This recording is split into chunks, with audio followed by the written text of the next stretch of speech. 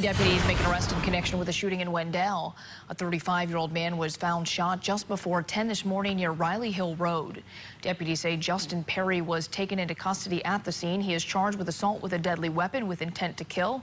No word on what led up to the shooting. The victim's being treated at Wake Med.